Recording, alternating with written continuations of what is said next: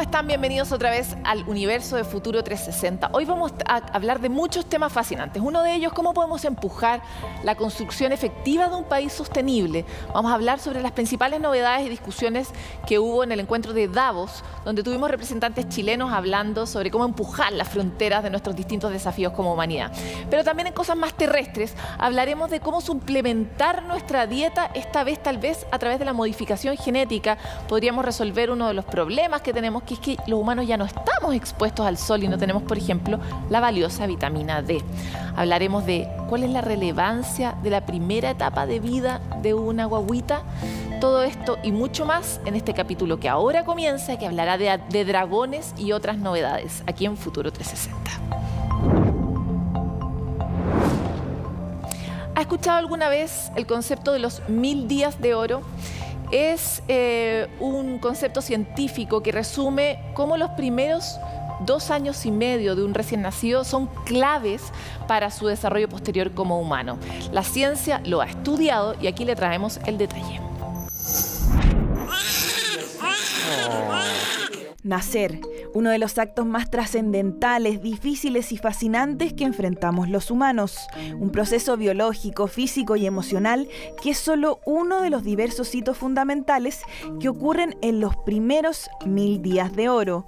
Cuando recién nacido nace en un ambiente respetuoso, llega al ambiente cálido de su madre, a acunarse en su pecho con el calor de su piel, eh, con el intercambio microbiológico que le da la piel, la microbiota materna, con el sonido de su corazón, que es lo que está acostumbrado a sentir en el interior del vientre, por lo tanto su frecuencia cardíaca se adapta y se amolda al de su madre, su función respiratoria que se está iniciando también se acopla a la respiración materna momentos esenciales que preparan los siguientes dos años de vida, donde habrá pasado de ser un cigoto de solo un milímetro a un niño o niña de 12 kilos que corretea por todos lados.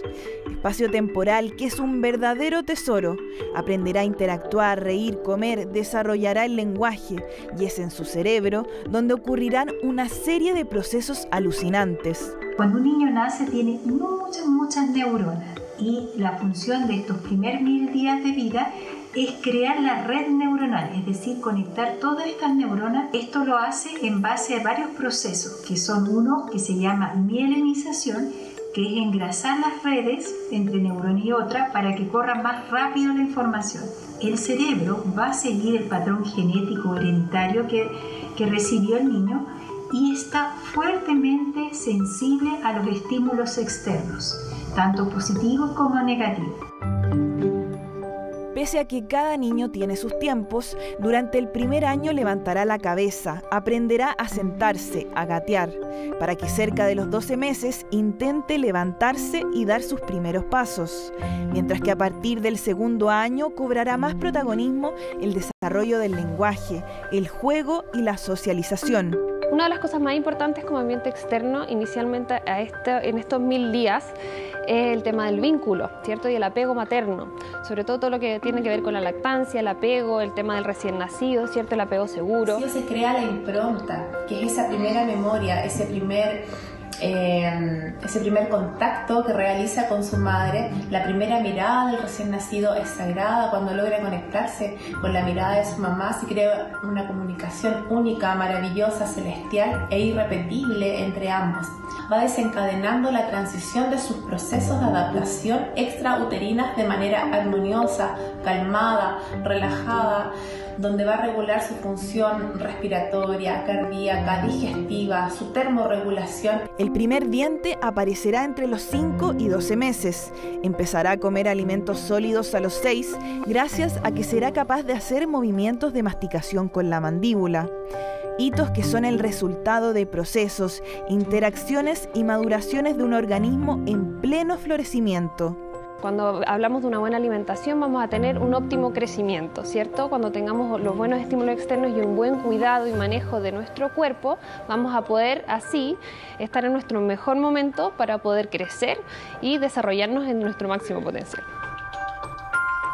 Nuestros primeros pasos, la primera vez que tomamos un lápiz o que probamos la fruta, la primera vez que decimos una palabra o que reímos, procesos vitales que modelan en gran parte lo que somos de adultos. Desde que a estas alturas hace cientos de años hemos cambiado nuestro estilo de vida, estamos necesitando ciertos suplementos de algunas vitaminas. Tomates modificados genéticamente podrían entregarnos una alternativa para poder obtener la necesaria vitamina D. Un equipo de investigadores logró esta hazaña que podría ser una aliada para la nutrición del futuro. Los detalles en esta nota. Tomates para preparar ensaladas, sopas o salsas, un ingrediente clave en la gastronomía y que luego de una hazaña científica podría transformarse en una buena fuente de vitamina D, elemento esencial para nuestro cuerpo. La principal función de la vitamina D en nuestro organismo es asegurar o favorecer una adecuada absorción intestinal del calcio. Y de esta manera eh, promover una mineralización adecuada de los huesos, es decir, que nuestros huesos sean más resistentes, menos frágiles. Una tarea que ahora podría ser potenciada por alimentos como el tomate. A nivel de lo invisible y mediante la modificación genética, un equipo del centro John Innes en Norwich, Inglaterra, transformó la provitamina D3 de un tomate en vitamina D3, cantidad equivalente a la contenida en dos huevos medianos o 28 gramos de atún. Todo gracias a la novedosa técnica de CRISPR-Cas9. Es una técnica que funciona a partir de proteínas y secuencias que fueron descubiertas en bacterias que permiten el corte y ensamblado del ADN de manera relativamente fácil mucho más fácil de lo que eh, teníamos antes. Como seres humanos tenemos dos vías para adquirir vitamina D, la radiación solar y alimentos de origen animal. Ocurre que en Chile, al igual que en muchos otros países, el contenido natural de vitamina D en la dieta es bajo. Los alimentos que son ricos en vitamina D son alimentos cuyo consumo no está muy extendido, como los pescados grasos, bacalao, salmón, pero tiene que ser salmón más bien silvestre, no el salmón que, industrial que se produce huevos, lácteos. Tomates fortificados que podrían convertirse en nuestros aliados considerando los bajos niveles de vitamina D que presenta la población chilena y que además serviría para vegetarianos o veganos. El déficit de esta vitamina podría causar diversas complicaciones. Se puede asociar por lo tanto a debilidad muscular, a osteoporosis, osteopenia, que eso conlleva un mayor riesgo de fracturas y también se ha asociado a eh, síntomas de depresión. En los niños se puede presentar en, casos muy extremos el raquitismo, que es una debilidad eh, importante eh, del esqueleto. También se ha descrito un efecto, una menor respuesta inmune en adultos. Sin embargo, la manipulación y modificación genética de los alimentos es algo que debe observarse desde sus diversos ángulos e impactos. Abre posibilidades magníficas. La pregunta es más bien, ¿en qué nos beneficia? Cómo podemos utilizar estas metodologías para resolver problemas que tenemos en alimentación. ¿Necesitamos realmente modificar alimentos o tenemos que mejorar la distribución de alimentos en el mundo? Preguntas que deben ser consideradas de la mano con el avance del desarrollo científico. Y llegamos a ese momento en que le entregamos algunas claves sobre el presente, el futuro, la ciencia, el medio ambiente y la innovación. Éxito resultó la prueba del Starliner. Es el nuevo prototipo de cohete que nos podrá llevar al espacio. La nave, fabricada por la empresa aeronáutica Boeing, regresó con éxito a la Tierra tras visitar por primera vez la Estación Espacial Internacional. Esta misión, que consistía en un vuelo no tripulado, tenía como objetivo demostrar la calidad y el rendimiento del sistema de transportes de la nave, su capacidad de acople a la estación espacial y la verificación de los sistemas de comunicación. Incluso los astronautas lograron cargar y descargar material desde la nave, la que regresó tras un aterrizaje en el campo de misiles de White Sands del ejército de Estados Unidos en Nuevo México.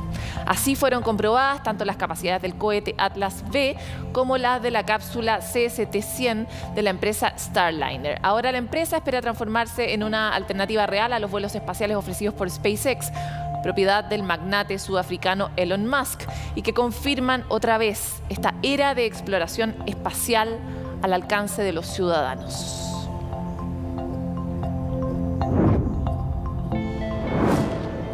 Bueno, y los investigadores del Instituto Tecnológico de California, Caltech, construyeron un dron que puede luchar contra las poderosas ráfagas de viento y tornados utilizando un aprendizaje automático, inteligencia artificial y algoritmos complejos. Este vehículo aéreo que vemos en pantalla fue sometido a vientos parecidos a los de un huracán, los que logró superar, ya que tiene la capacidad de predecir cómo van a reaccionar los vientos en tiempo real utilizando un método de aprendizaje profundo llamado Neural Fly. Además, el dron puede recalcular las condiciones del tiempo alrededor de cinco veces por segundo y adaptar su dirección dependiendo de cómo esté eh, la situación del viento. Los investigadores señalaron que esta tecnología podría aportar a los viajes aéreos más seguros, rescates médicos y actualmente mediante esta tecnología se están desarrollando prototipos de ambulancias aéreas que no necesiten un piloto frente a emergencias o desastres naturales. Según los científicos, este dron podría empezar su uso práctico a mediados del próximo año.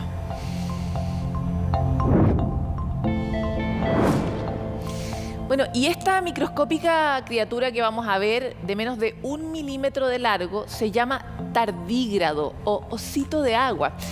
Tiene muchas de las características más increíbles del reino animal y es por eso que queremos observar cómo los tardígrados son prácticamente seres inmortales. Resisten temperaturas de hasta 150 grados Celsius, toleran el cero absoluto, la inanición y como si esta fuera poco, un experimento demostró su capacidad para sobrevivir al impacto de un disparo.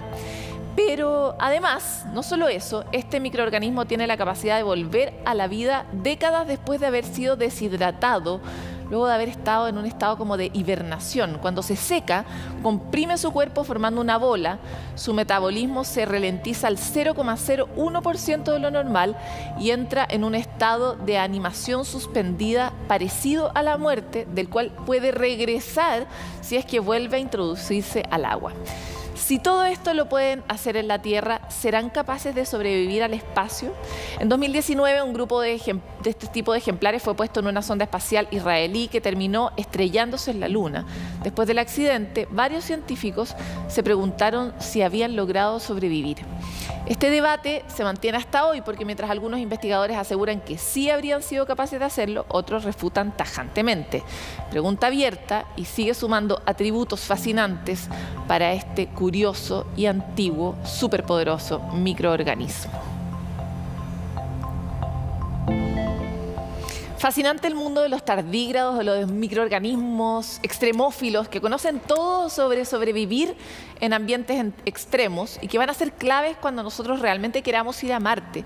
¿Qué pasa si logramos abrir esa clave que les permite a ellos hibernar, eh, suspender al mínimo nuestra actividad y sobrevivir por mucho tiempo?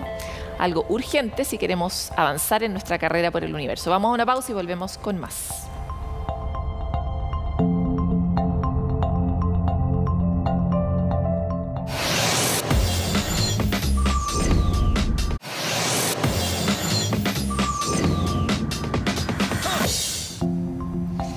El universo de la construcción, del desarrollo de las civilizaciones es enorme y tiene enormes oportunidades y enormes problemas. Sabemos que la población va a vivir principalmente en el 75% de la población va a vivir en ciudades para ahora, para 2050 nomás, y para eso las ciudades suelen no estar preparadas. Por un lado tenemos los problemas asociados a la sequía, pero también tenemos eh, problemas que resultan de cómo estamos diseñando eh, las ciudades, con qué herramientas, con qué incentivos. Y hoy queremos avanzar sobre el problema del agua y muchos otros con el ministro a cargo de todos estos problemas.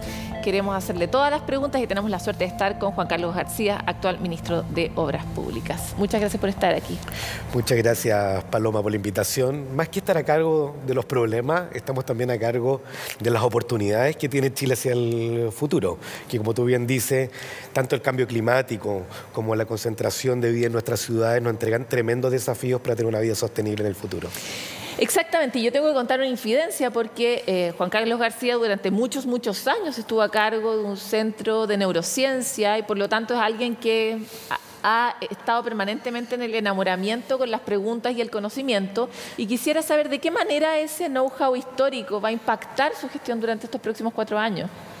A ver, eso es bien importante porque un... Eh, ahora en el siglo XXI, los gobiernos tienen poco tiempo para reflexionar, están mucho más concentrados en el hacer todo es tan vertiginoso, estamos sumados, sumidos en, una contingencia tras otra, que la reflexión profunda ya no está en el espacio de los gobiernos, pero sí está en el espacio de las universidades, de los centros de pensamiento.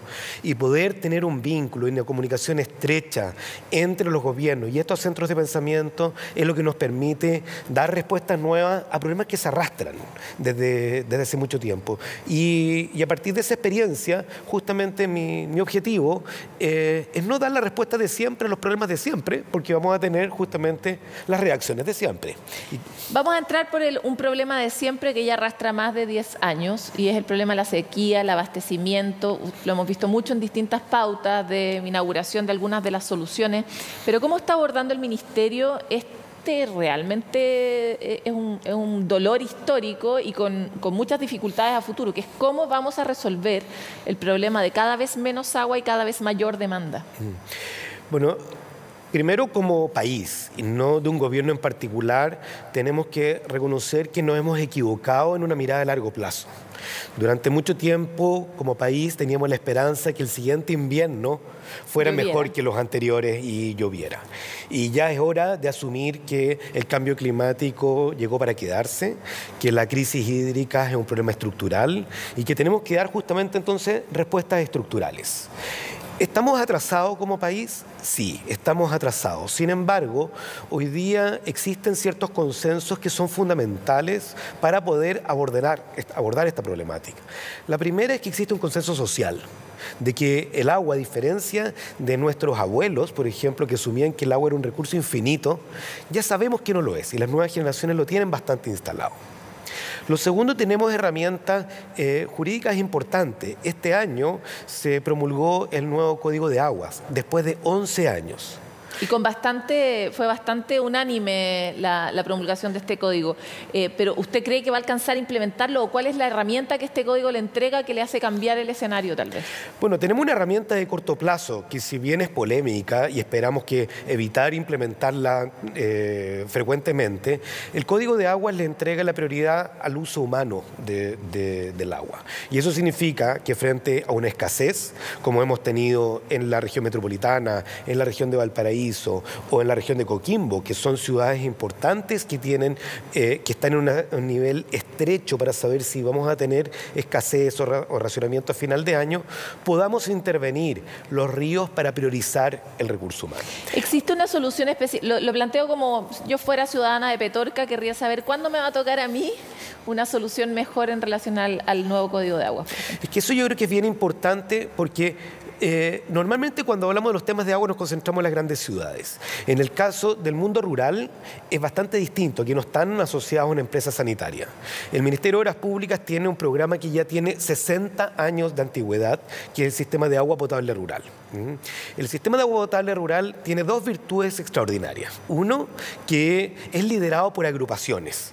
Son los mismos vecinos, son las comunidades las que se organizan para acceder al agua. Y lo segundo es que son sistemas autónomos que no dependen de una empresa, sino que son administrados por las comunidades y provistos por el Ministerio de Obras Públicas. Sin embargo, en este periodo de crisis hemos visto que es un sistema que requiere modernizaciones urgentes, que respondió muy bien a las necesidades del país de proveer de agua potable a las comunidades rurales en un periodo pre-sequía. Pero hoy día necesitamos hacer innovaciones distintas. Y en ese sentido estamos avanzando en dos líneas. La primera es que hoy día, para tener agua potable rural, eh, pasan de 6 a 7 años de trámite desde que se inicia el proyecto hasta que le entregamos el agua a las familias. Eso es muchísimo tiempo. Y parte de eso es solamente gestión administrativa que nosotros podemos reducir, esperamos, a tres años y medio. La segunda, que es un programa que esperamos presentar próximamente, de manera de, a través de sistemas innovativos, no esperar hasta los siete años para entregarles agua potable a las personas en sus casas. Sino que calcularle el, quiebre. Tener un momento, tener eh, sistemas... Eh, de infraestructura provisoria previas que nos permitan entregar agua potable con sentido de, hay anticipar la urgencia. Al final lo que necesitamos son políticas públicas que con el sistema innovativos anticipen y enfrenten una urgencia. Con el sistema normal no vamos a llegar. Lo que estamos haciendo hoy día es recoger mucha experiencia que es de innovativa, de funcionarios del Ministerio de Obras Públicas que probablemente no habían sido debidamente escuchados antes. Y además escuchando a otras personas que trabajan desde la academia cómo poder enfrentar la urgencia con las herramientas del Estado.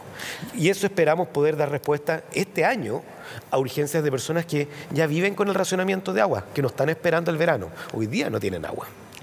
Otro de los grandes problemas que tiene el asunto del agua es el nivel de, atomización que hay en relación a su propia gestión. ¿Cómo pretende usted, eh, a propósito de este mismo código también, eh, simplificar ese problema, digamos? Bueno, ahí entramos en un problema más estructural, que también ha sido parte de la discusión del proceso constituyente. Eh, la nueva constitución, que no se ha aprobado aún, que se votará en el mes de septiembre, propone una agencia autónoma del agua, justamente para abordar e integrar toda esta cantidad de instituciones que están dispersas hoy día en la gestión del agua. Hoy día lo que podemos hacer nosotros como ministerio y estamos haciendo como gobierno es no esperar ese proceso constituyente que al que estamos siguiendo con atención, sino entender que la mirada del agua ya no es desde el fin, desde el momento en que llega el agua a la llave, sino hay que abordar el origen de una manera mucho más integral. La gestión de cuencas. Y eso es la gestión de cuenca. Entendiendo la gestión de cuenca no solamente una mesa entre aquellos que son propietarios de derechos de agua, sino que es una mesa donde están todos los actores involucrados. O sea, están los agricultores, están las autoridades, están las comunidades, están los diferentes grupos que permitan reconocer primero que nada que es un bien escaso que debe distribuirse, que existen códigos de agua que, que permite priorizar el consumo humano, porque sobre todo también que si no entregamos la variable medioambiental, la sobreconsumo, el sobreconsumo del agua finalmente no, lo que estamos haciendo es seguir profundizando un problema en el que ya estamos hoy día, que es el de la sequía. Respecto de lo que plantea, dos puntos. Muchas voces surgieron sobre la base, cuando recién se estaba promulgando el código, de que la convención no sabía lo que se estaba promulgando en el código y de alguna forma es redundante, se hace cargo de cosas que ya están resueltas a través del código. ¿Usted comparte esa opinión?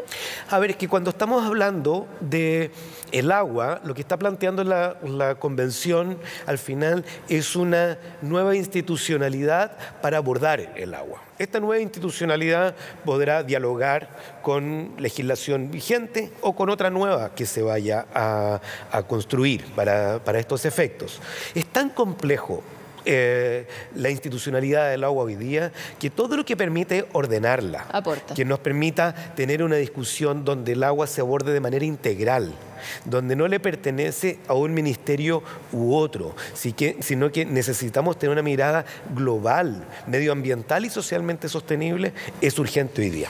Y respecto de lo otro que planteaba sobre la gestión de cuencas, Suena como algo muy importante tener a todos los actores de la cuenca relacionados, suena como una buena idea descentralizar y hablar de cada cuenca como su propia historia, pero suena como un problema la resolución de conflictos. ¿Quién tiene la última voz a la hora de decir ya el agua va para allá?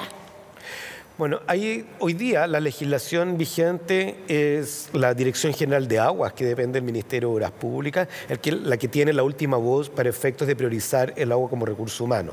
Sin embargo, para la gestión de las cuencas, nosotros apelamos que no sea solo como hoy día, que un acto de buena voluntad entre los actores. Creemos que es necesario legislar al respecto, porque un marco legal que nos permita a todos tener las garantías es la que nos va a permitir también tener la certeza respecto a un recurso tan finito como el agua potable. Lamentablemente el agua nos quitó todo el tiempo, pero teníamos que hablar de ella, pero quiero avanzar un poco hacia los sueños, porque obras públicas es mucho más que agua, eh, es materiales, es qué carreteras se construyen, por dónde se construyen, con qué criterios se construyen, cuál es la visión innovadora que va a tener su ministerio respecto de estos desafíos, que hasta ahora, desde nuestro punto de vista, todavía están muy atrasados. No, hemos hablado de materiales todavía, no hemos hablado de eh, como con frecuencia de corredores biológicos, sino que son excepciones. O sea, ¿de qué manera el ministerio se monta sobre los desafíos climáticos también?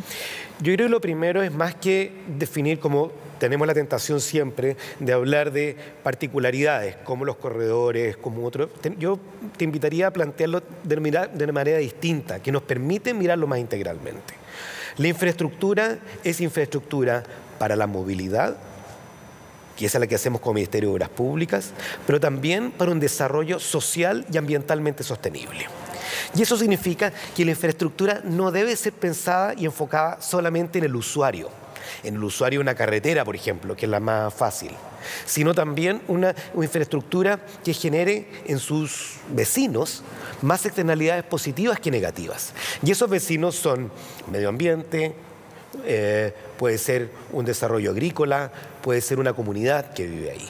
Del momento en que vemos la infraestructura no solo como un elemento que conecta dos puntos, sino una infraestructura como un, un factor de desarrollo integral, entonces los corredores biológicos, por ejemplo, pasan a estar integralmente incorporados en una infraestructura de manera distinta. El cuidado con las comunidades, que es algo que hoy día estamos realmente al debe, tiene una oportunidad distinta. Y cosas que hoy día ya estamos utilizando que estamos promoviendo, la reutilización de materiales que, se generan, por ejemplo, en una gran carretera o en, un aeropuerto que puede servir esos saldos, ese material para hacer caminos básicos, permite ya mirarse no como caso a caso, sino como una política global del Ministerio de Obras Públicas. O como lo estamos pensando hoy día, si hablamos de movilidad y no carreteras, entonces también nos involucramos en las ciudades. Y la movilidad entonces ya no es solamente vehicular, sino como el Ministerio de Obras Públicas también promueve una movilidad alternativa, ya sea a través de tranvías, teleféricos y otro tipo de movilidad alternativa. ¿Trenes para Chile? Trenes para Chile, sin duda, es lo que planteó el presidente Boric en su programa de gobierno. Mirar la movilidad y no antes que la infraestructura es fundamental, porque la movilidad, y esto lo repito que es muy importante, para hacer una infraestructura sostenible, tenemos que pensar más allá de la línea entre un punto y otro, tenemos que pensar todo lo que se genera en los entornos, ya sea para su desarrollo productivo, desarrollo social o el equilibrio y cuidado de los ecosistemas. Ministro, lo, tengo que cortar. Le voy a dejar una preguntita y vamos a dejar anotadita para la siguiente entrevista el problema materiales. ¿Qué, materiales vamos a innovar en el futuro? Em, eh, y también vivienda, que quería también, yo sé que no es exactamente su ámbito, pero sé que les gusta mucho el trabajo entre ministerios, así que lo vamos a tocar en la siguiente entrevista. Pero para irme, ¿vamos a tener racionamiento y cuándo? No tenemos certeza respecto al racionamiento y primero me gustaría ver que aquí son tres grandes ciudades las que estamos prestando atención. El Gran Valparaíso, Coquimbo La Serena y la región metropolitana. Hoy día estamos tomando todas las medidas para poder pasar el verano y esperamos que así sea.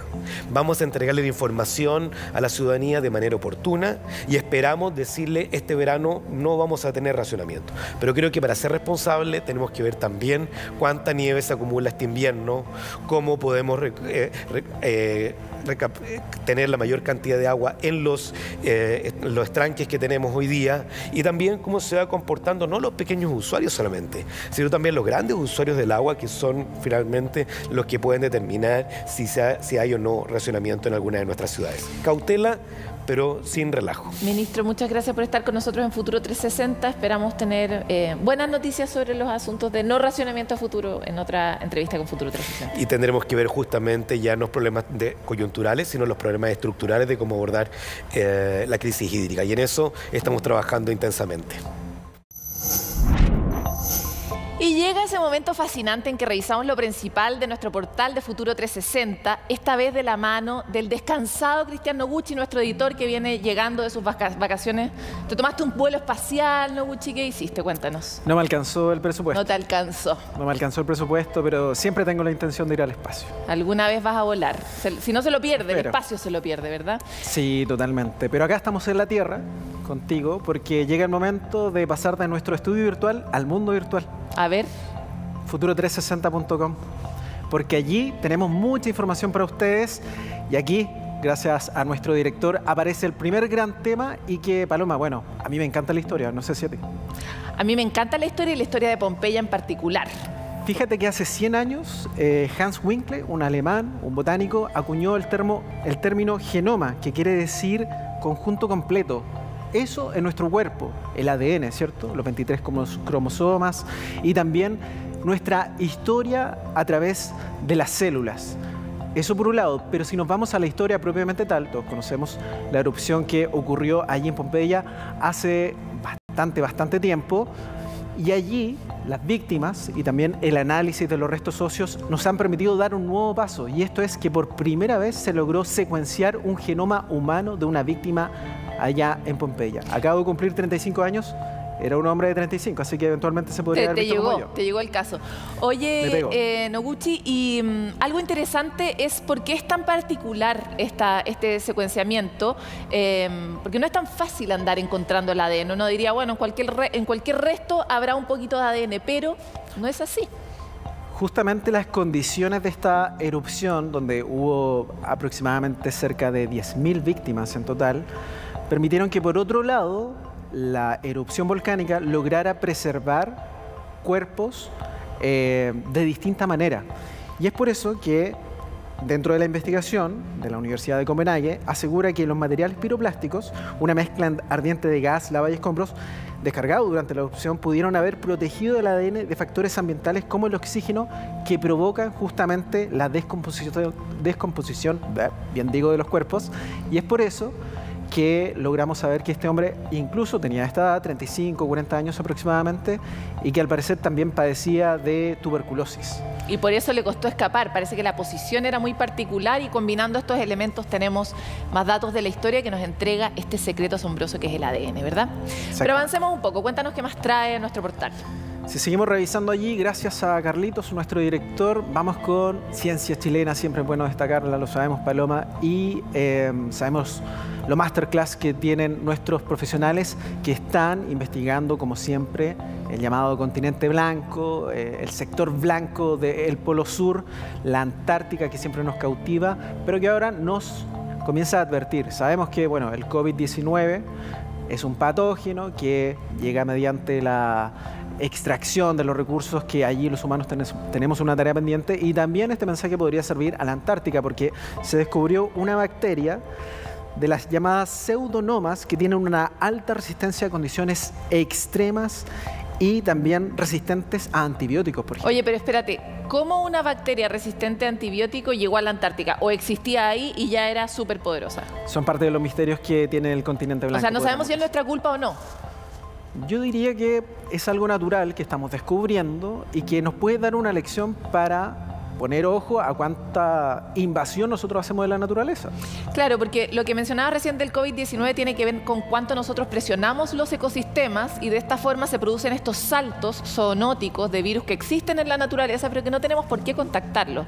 Entonces, esta bacteria tal vez nos está diciendo como, mantente lejos de la Antártica un rato, ¿no? Yo creo que la, bueno, sabemos, Paloma, nos encanta la naturaleza, es sabia entonces nos está dando una primera alerta de lo que podrían ser estas bacterias hiperresistentes que en contacto con algún tipo de patógeno nos podría representar un riesgo nuevamente para la salud. Es decir, estamos poniendo nuevamente una alerta por parte de la Madre Tierra a que, ojo, pongamos atención dónde estamos excavando, dónde estamos explotando y también eh, explorando eventualmente para eh, evitar el contacto con estas bacterias. Pero no todo es malo porque esta misma podría generar eh, también el desarrollo en ámbitos como la salud de generar nuevos fármacos eventualmente a raíz del peligro que podría representar esta bacteria. Es una investigación de la Universidad de Chile que siempre es bueno destacarla y que la pueden encontrar en detalle allí en futuro360.com. Totalmente, ¿no? ¿Y cuál es tu tríada de hoy? ¿Te gustan los dinosaurios? No tanto como a ti, pero sí me gustan. Yo no sé si me gustan tanto la ficción, porque vi Jurassic Park ahí a fines de los 90, pero ah, sí... Yo, no la vi, es que yo era muy chica. Sí, justamente, yo creo que es por eso. Pero sí, en el mundo real es fascinante descubrir lo que hacen paleontólogos, esta vez al otro lado de la cordillera, argentinos, y como buenos argentinos, no le pudieron poner mejor título a este nuevo hallazgo paleontológico que es el dragón de la muerte. Precioso. Aparece allí en cercanías de Mendoza y es particular porque es un pretosaurio de característica voladora justamente y que también estuvo presente en nuestro país en una menor medida, podríamos decir. Los argentinos siempre van a decir que ellos tienen... Que, es argentino el dragón, el, rey argentino. El más grande. Oye, pero qué nombre más bueno. Mire, Thanatos Dracon Amaru. Es como un nombre que le pondría Daenerys Targaryen a uno de sus favoritos. Los que vieron Game of Thrones lo saben, ¿no? Sí, yo creo que me quedo abajo de esa conversación en verdad, porque no, no sé el detalle de eso, pero sí que hay un martillo. No sé si en este caso descubrieron el martillo, pero sí descubrieron los restos eh, de este gran dinosaurio que eh, se logró tras una investigación de 12 años en la zona de formación Plotier, un lugar con restos de varios animales prehistóricos.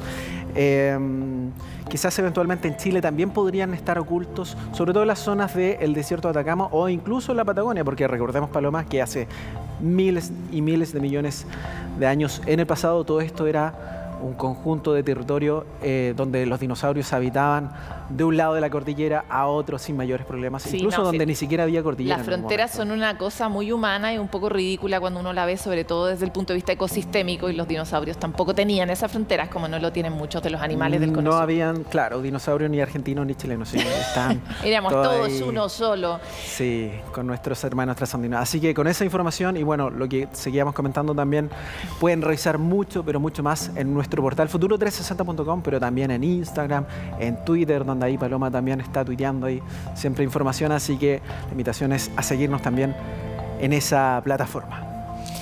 Bueno, con muchas novedades y siempre con esta invitación, los queremos invitar a una pausa porque ya volvemos con mucho más de este interesante Futuro 360.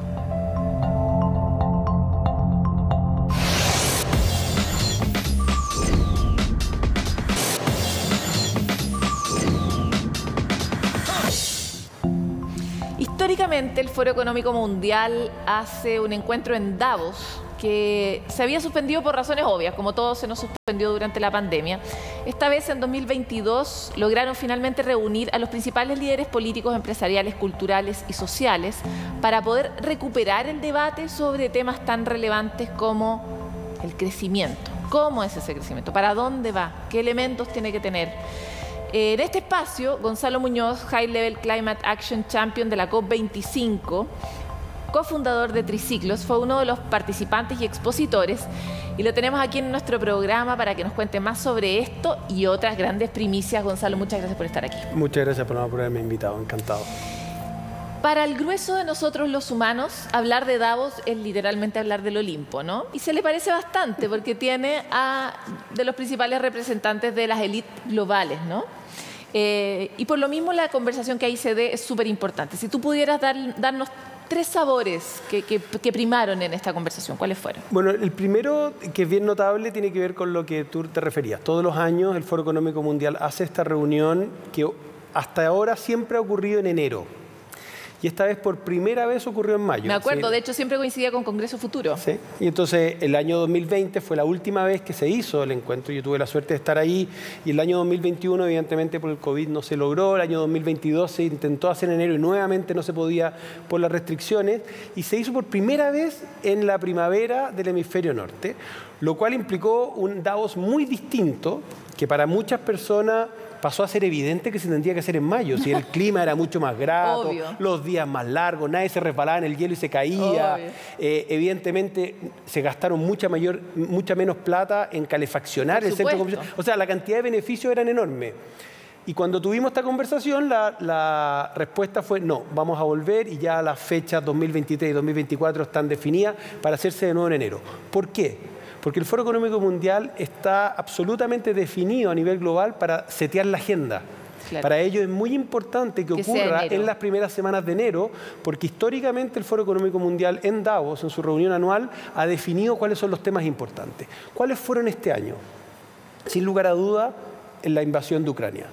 Pasó a ser un hito clave el alineamiento de las autoridades y el liderazgo político y empresarial y social que se reunió en Davos este año, eh, con, con un discurso absolutamente contra no solo la invasión, sino que, por ejemplo, no hubo ningún representante de Rusia, hubo una serie de manifestaciones muy concretas de lo que se sentía como una invasión al continente europeo. Había, una, había una, un detalle ahí. Oye, me parece importante, em, hay una cara que a mí me ha parecido muy interesante lo que ha pasado con la guerra y es cómo ha quedado ya en un absurdo ridículo, cómo tiene que aumentarse la velocidad para la transición energética hacia renovables, ¿no? ¿Qué tan presente estuvo y cuán seria se va a poner la conversación? Porque en renovables siempre hay buenas declaraciones, las tenemos hace mucho tiempo atrás, pero hay pocas acciones concretas, como impuestos, como subsidios. Bueno, efectivamente la, invasión a Ucrania pasa a tener distintas líneas de acción Una de ellas es la aceleración de la transición energética, donde, por supuesto, el, el consenso es tenemos que aprender de esto en términos de la importancia de adquirir mayor independencia energética y eso se obtiene definitivamente a través de las renovables, lo cual te da también elementos de seguridad. Ahora, lo que hay detrás de la, de la invasión a Ucrania tiene que ver primero con un tema clave que es el buscar defender la democracia y los valores comunes seteados desde 1945. Luego la importancia de prepararnos para lo que el secretario general define hoy en día como un huracán de hambruna, todo lo que ha significado eh, el, efecto en el mundo agrícola, en los fertilizantes y también el ir buscando independizarnos de aquellos actores globales que están poniendo en jaque la estabilidad del y sistema. Y en esa materia, porque... Mm, lo del hambre ya lo venimos escuchando, lo vimos en, el Economist, que hace poco lo publicaba con bastante claridad, pero lo, hemos visto poco. Hasta ahora solo unos aumentos en el precio del pan, etcétera. ¿Cómo se ve la proyección que hace Davos para el próximo año, por ejemplo? Se viene brutal. Eh, y yo te lo digo no solo desde Davos, yo, yo soy miembro del directorio global del del Global Food Banking Network, quien organiza y coordina todos los bancos de alimentos en el mundo y estamos claramente preocupadísimos de lo que se nos viene. Este jueves vamos a tener un nuevo informe en que lo, que más, lo, más probable es que nos muestre que las cosechas del, próximo año están absolutamente en jaque y no hay suficiente stock para abastecer a la humanidad. O sea, lo que hemos visto claramente es cómo se han desplazado stocks en el mundo para poder de alguna forma equilibrar, pero dado que el conflicto continúa, ya estamos hablando de la siguiente cosecha y eso no está garantizado. Pero después vienen otros elementos, ¿no? Todo el elemento del drama social que implican las migraciones. Migraciones que en unos casos están generados por conflictos bélicos, pero por otros casos están generados también por la inestabilidad que ya veníamos, y, no, primero la que ya veníamos arrastrando, que es el COVID. De las democracias, ah, y el COVID, claro. O sea, este conflicto viene por encima de un conflicto que ya, perdón, una crisis que ya había generado un nivel de inestabilidad socioeconómica a nivel global y, como bien tú decías, además de la crisis climática. Eh, fue, fue interesante ver cómo eh, se confirmó el que la agenda climática, a pesar del el fenómeno de la guerra, el fenómeno de la, eh, del COVID, el fenómeno de la inflación y la inestabilidad y, el decrecimiento que está, o, el problema económico en general que se está generando en el mundo, la agenda climática, la agenda verde en general, aterrizó para quedarse. No hay ninguna duda de que es renovables, es naturaleza, es desarrollo sostenible, si no, no hay forma de enfrentar incluso ¿Y la plata para eso? Porque es el gran problema, que los bancos y los empresarios y todo lo demás se alineen detrás de ese eje, ¿no? Bueno, la plata está y no hay ninguna duda de que la plata está. Es más, por ejemplo, cuando hablamos de eh, la agenda climática y muchas veces ponemos el foco en la importancia de estabilizar los gases de efecto invernadero con un objetivo de eh, net zero o de cero emisiones netas al 2050, si, lo llevamos al objetivo de más corto plazo, que es reducir a la mitad las emisiones al 2030, todas las herramientas, incluyendo las herramientas financieras, están absolutamente al alcance de la mano. Lo que falta es voluntad política y lo que falta de alguna forma es alinear lo que son las métricas de corto y mediano plazo. Y eso también está ocurriendo. Si tú miras lo que está pasando a nivel de los bancos, de cómo se están definiendo y ya concretando toda la taxonomía para que los bancos avancen con mayor certeza. ¿Cuántos bancos ya han tomado acciones concretas de cambiar sus portafolios?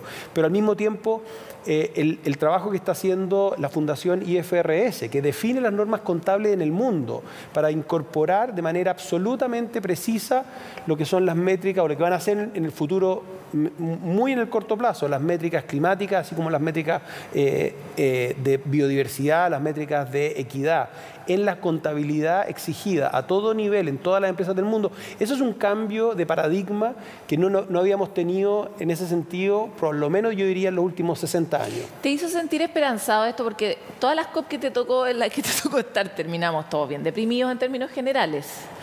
Eh, mira, yo digo que yo me, despierto todos los días muy realista de los tremendos desafíos que estamos enfrentando y opto por ser un optimista en el día a día. Y, esa opción me lleva a conectarme con lo que está ocurriendo.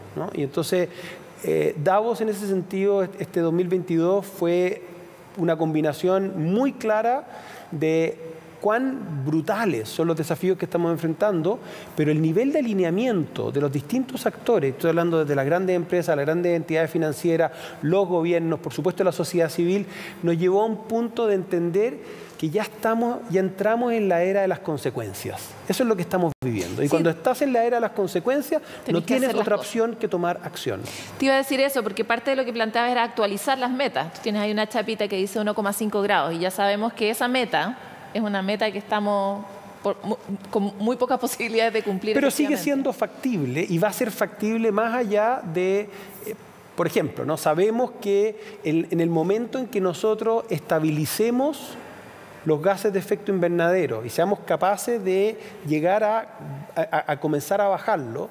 Que, ya sabemos que no va a ser en 2025, de acuerdo a los últimos informes, por lo menos. O sea, todavía puede ser. Más bien es para lograr la ruta a los 1,5 grados tenemos que lograr que el pic de emisiones no sea más allá del 2025. Si lográramos eso, la temperatura del planeta se estabiliza en un periodo de entre 3 y 5 años. O sea, en este drama que se refleja en que efectivamente la temperatura del planeta está está, creciendo y a través de ese incremento está generando anomalías climáticas en todo el mundo. Bueno, si los seres humanos somos capaces de parar las emisiones en un periodo de 3 a 5 años la temperatura se estabiliza y en un periodo de aproximadamente 20, 30 años los, gases de efecto invernadero que están acumulados en la atmósfera empiezan a descender. Por lo tanto, tenemos la herramienta, es factible, la tecnología que se necesita para disminuir esas emisiones en un 50% de aquí al 2030 existen y están siendo implementadas a todo nivel. Me tocó trabajar este, en este Davos con personas del mundo de la industria del acero, de la industria de la aviación, de la industria marítima, de la industria financiera y el nivel de consenso de que esta es una agenda que hay que hacerla sí o sí es absoluta. ¿Y coexiste esa posibilidad y ese entusiasmo en cumplir esas metas con la realidad financiera global, de crisis, de hambruna? Absolutamente. La sensación en el, en el contexto de Davos era tenemos que hacer ambas. Y por eso te digo que fue notable descubrir cómo en la agenda de Davos 2022 estaba presente la invasión de Ucrania, estaba presente el COVID, estaba presente el proceso inflacionario y la inestabilidad económica global, estaba presente el, ataque a las democracias y estaba presente la agenda climática y ambiental. Y el consenso era, esta pasa a ser una condición para que logremos todo lo demás. No podemos lograr un planeta estable, ni en materia de violencia, ni en materia de eh, e-, economía, ni en materia de hambre, si no somos capaces de estabilizar algo elemental, que es que el medio ambiente nos proteja como seres humanos. Gonzalo, nosotros todos teníamos, nos queda poquito rato, todos teníamos eh, el pánico que este nivel de optimismo como que quedara ahí con, con el fin de tus distintos cargos. Pero eh, cuéntanos qué se viene, porque estamos muy contentos con algunos secretos que hemos escuchado otras bambalinas. Bueno, eh, yo tuve el honor de co-liderar con Nigel Topping la agenda climática global los últimos dos años y dentro de eso una cosa que pudimos hacer fue generar una especie de intraemprendimiento dentro del sistema de las Naciones Unidas. Esto es lo que se llama la, agenda de, los Climate Champions para los próximos cinco años, o de 2021 al 2025. Eso fue eh, recibido y celebrado por las naciones en Glasgow en el plenario y lo que se me pidió es que yo me mantenga como parte del board y en la última semana me pidieron que sea el chair de ese board para los próximos dos años, 2022-2023. Voy a estar, por lo tanto, ayudando. Empujando como has hecho hasta ahora ayudando a que la ruta que hemos trazado en los últimos tres años se mantenga, que se comprometan cada vez más recursos para esa agenda y no solo mantengamos el optimismo, sino que fundamentalmente logramos cumplir las metas de las metas al 2030. No tengo ninguna duda que somos capaces de lograr las metas de aquí al 2030, el resto va, a continuar. Eh, se nos acabó totalmente el tiempo, pero tengo que preguntarte, si tú tuvieras aquí tu bilateral con el presidente Boric, ¿cuál sería la tarea que no puede dejar de hacer en este periodo de gobierno? Alinear todos los compromisos desde el Banco Central hasta todas las entidades financieras. Ese es el actor que, permite facilitar la acción en todos los demás actores. Donde uno pone la plata, pone las ganas al final. No hay ninguna duda de que ese es donde tenemos que poner las fichas porque eso ayuda a que todos los demás derriben sus propias eventuales barreras que les están impidiendo actuar de forma más clara con algo que es evidente que hay que hacer, donde tenemos todas las herramientas y donde además tenemos un deber moral de actuar y una posibilidad de liderazgo tiene Chile también. Gonzalo Muñoz, muchas gracias por estar aquí. Muchas gracias a ti, Lo vamos a tener más adelante de todas maneras, sobre todo si ahora va a dirigir este directorio, eh, va a ser el jefe del directorio para, para, poder promover esta agenda dentro de Naciones Unidas que es tan urgente y coordinar. Eh, esto, esto que acaba de contar es una tecnología que deberíamos mantener dentro de nuestros gobiernos también. Qué ganas de que, por ejemplo, todos los ministerios de ciencia tuvieran una especie de directorio a lo largo de 20 años para mirar la agenda a largo plazo en la ciencia de Chile algo que nos falta tanto, ¿no? Bueno, con esta genial idea nos vamos porque se nos acabó Futuro 360 y nos encontramos en el siguiente capítulo.